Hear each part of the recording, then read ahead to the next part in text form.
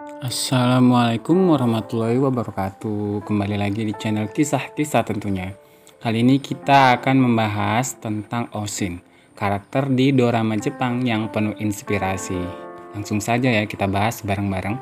Dan bagi yang baru menemukan channel YouTube kami, tidak ada salahnya untuk like dan subscribe agar tidak ketinggalan pembahasan menarik di dalamnya. Langsung saja kita ke pembahasannya ya. Nah, Oshin merupakan salah satu drama Jepang yang sempat tayang di Indonesia di sekitar tahun 1980-an. Drama ikonik ini penuh inspirasi dan happening banget di zamannya. Dikisahkan dalam drama tersebut bahwa Oshin merupakan gadis yang tumbuh dalam kemiskinan ekstrim di sebuah pedesaan di Jepang. Ia mengalami banyak tragedi dan terus berjuang hingga akhirnya dapat menjadi bos yang sukses memimpin sebuah jaringan supermarket.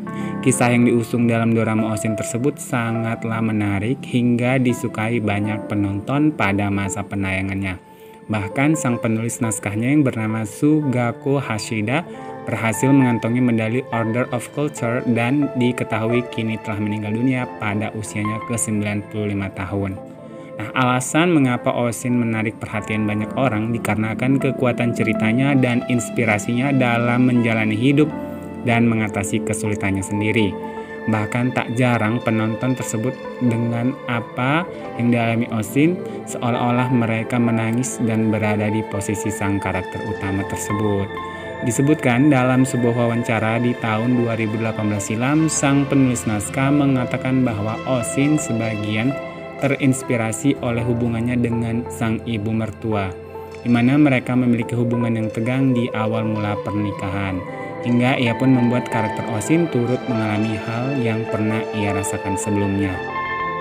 Hmm, Osin sendiri membangkitkan emosi para penonton dalam skala yang belum pernah terjadi dengan serial televisi lain sebelumnya, semacam demam, demam Osin yang menggenggam seluruh dunia.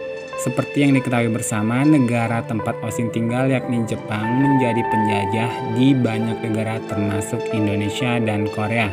Namun saat menonton drama televisi tersebut, seolah sentimen terhadap Jepang hilang begitu saja dan menjadi empati yang amat luar biasa. For the information, drama Osin sendiri diproduksi sebanyak 297 episode dengan durasi masing-masing episodenya 15 menit dan berhasil menembus rating 62,9% maksudnya ya. Meskipun merupakan kisah fiktif belaka, namun kisah ini konon kabarnya merupakan kisah nyata seorang wanita bersama bernama Katsuwada yang berjuang dari bawah hingga mendirikan sebuah toko grosir yang belakangan menggurita menjadi retail dengan nama Yohan. Nah, kalian sudah pernah menonton drama Osin ini atau belum nih teman-teman? Nah, komen di bawah ya. Sampai jumpa di video-video selanjutnya. Assalamualaikum.